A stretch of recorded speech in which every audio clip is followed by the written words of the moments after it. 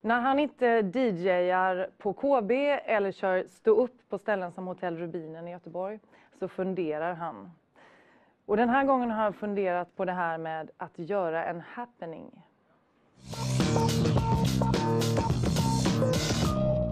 Det har senaste året varit populärt med performance arts och happenings runt Malmö-Lund. En tanke som går ut på att saker i vardagen kan ske som man inte vet är fiktion eller verklighet. Festivaler har anordnats och märkliga ting har skett på våra gator och torg som gjort att folk har höjt på ögonbrynen.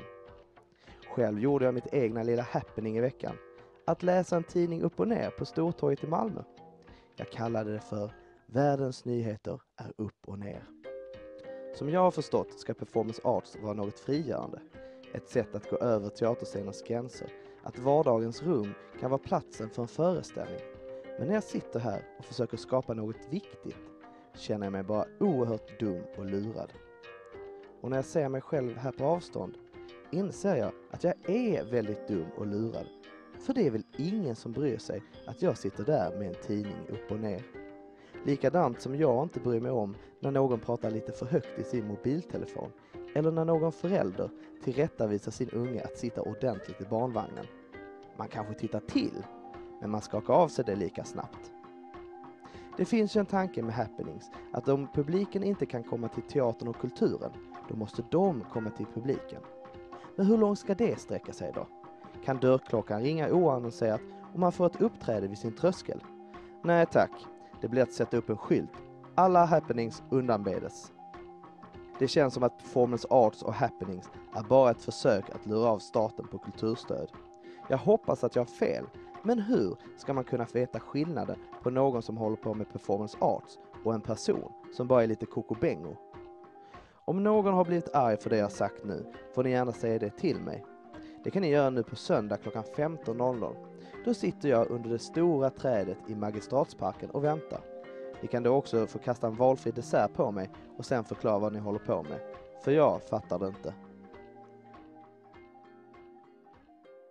Okej. Eh, som sagt, ni, har, ni uppfattade det sista va? Att han kommer sitta på Magistratsparken, eh, Big Boss, på söndag. Då kan man kasta dessert på honom om man inte håller med honom. Vad, vad säger ni om det här med performance? Konst? Men eh, alltså, han gör ju inte ett performance. Han har, ju, han har ingen konstnärlig tanke bakom det. Det finns inget manifest, ingenting provokativt i det. Så jag vet, jag vet inte. Mm. Du tycker det faller hela greppet? Ja, men alltså, jag vet inte, och förlåt Erik, men alltså, att blanda ihop liksom, begreppen konst, performance, happening, det, alltså, det är ju vitt skilda grejer. Liksom. Mm. Brukar ni själv gå på performances? Ja, definitivt. Så ofta ja. det går faktiskt. Mm. När var det... ni senast på ett Eh, förra veckan tror jag. Men det var inte, jag vet inte om, det var inget så jättestort, det var mer något mindre liksom. Vilket var det? Eh, det var några vänner till mig som, jag vet inte om man kan kalla det performance, det var nog mer en protest. De som stod ute vid eh, Folkspark liksom. Och det är väl också, det är inte performance i och för sig. Det är det Men är det svårt det här begreppet performance? Tror ni att publiken, liksom, folket i allmänhet, tycker att det är lite luddigt sådär? Att vem som helst använder det som en etikett?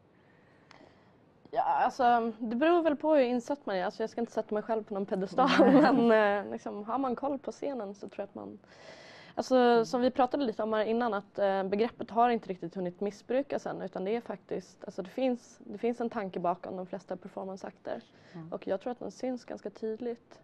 Så eh, än så länge är det nog ingen risk. Här i Malmö håller vi faktiskt performancefanan rätt högt också med Lillit Performance mm, Studio. Absolut. De kommer ju köra en grej nu i helgen. Mm. Eh, klockan 6.30 ska man gå upp och så ska man åka på en buss till utkanten mm. i Malmö. Så kommer en norsk eh, performancekonstnär som heter Jannike Låker köra en grej. Det låter rätt coolt faktiskt. Lite tidigt. Vi håller inte med då riktigt kan vi konstatera. Men vi byter kurs och ämnen tänker jag.